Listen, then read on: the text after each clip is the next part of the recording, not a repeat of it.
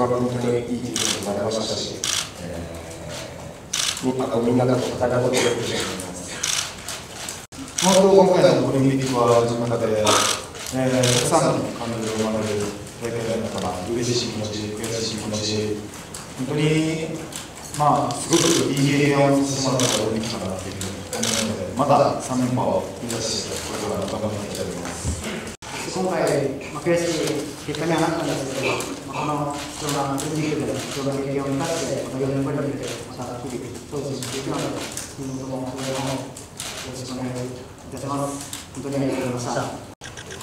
今回のオリンピックはすごく嬉しいオリンピックになったんですが、また一つの舞台で必ずリベンジしたいと思っております。また応援よろしくお願いします。金メダルを目指してここまでやってきた、ない結果に終わってしまって申し訳ない気持ちでいっぱいだったんですけど、先ほどたくさんの方々に笑顔で迎えてもらえて、本当に感謝しています。ありがとうございました。パリオリンピックは悔しいものになりましたが、えーこの貴重な経験を生かしたり、生かしていきたいなというふうに思います。ありがとうございました。まあ、オリンピックを振り返って、あのー、まあ、個人では、えー、自分が出したんですけども、結果を、まだ出すことができずに、ああ、なたでは、えー、みんなと応援に語って、見に行く結果で、優勝が目指したとみんなで戦ったときに、記者のご自身は、ここに思いますし、これからの責任を生かしていきたいなと思います。ありがとうございました。たくさんの応援をいただきありがとうございました。えー自分自身は、まだまだ力不足だったなという気持ちが強くて、4年後、さらにこの悔しさをそれでぶつけて、頑張っていこうかなと思います。団体戦でも、褒めない結果だったので、えー4年後は自分で引っ張っていける選手になれるように思います。えー応援ありがとうございました。本当にまたすぐに宮崎に帰るので暖かく暖かく暖かく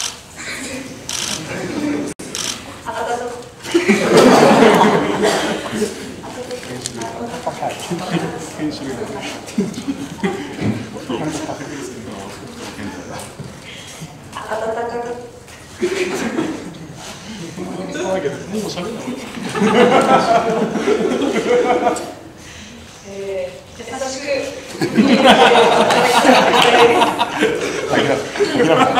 ありがとうございます。あの自分がそのフランスの選手を投げたときに、えっと、そこでこう、なんていうんですか雰囲気が落ちるんではなくて、そこからまたこういうなんて盛り上げてくれたので、すごいな、なんていうんですかね、皆さん柔道が大好きで、見に来てくれてるんだなっていうのをすごい感じました。この後、フォトセッションに移ります。選手、監督の皆様、えーご起立の上お待ちください。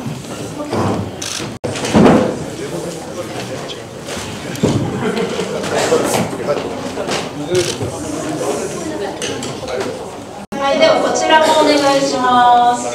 こちらのカメラお願いします。それチャージすんだよ逆だから上は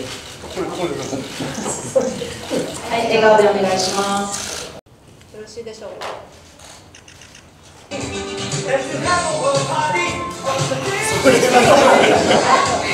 すごいタイミングが。本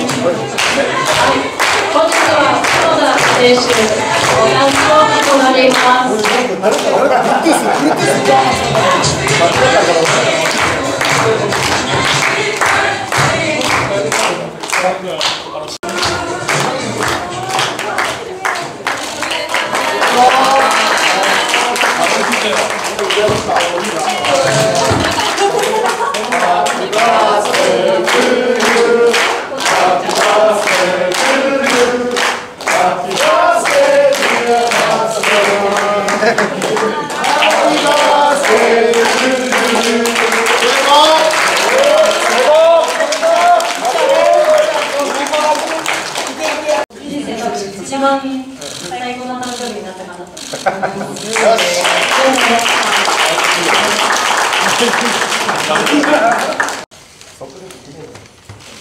俺関係ない。ああ、さっきこれさ、これがめっちゃ嫌になったの。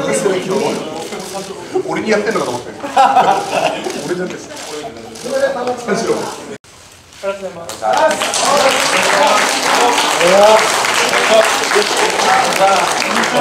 りがとうございます。えーそれでは会見の方以上となります。えー本日はお集まりいただきありがとうございました。負けました、負けました。負けました。負けました。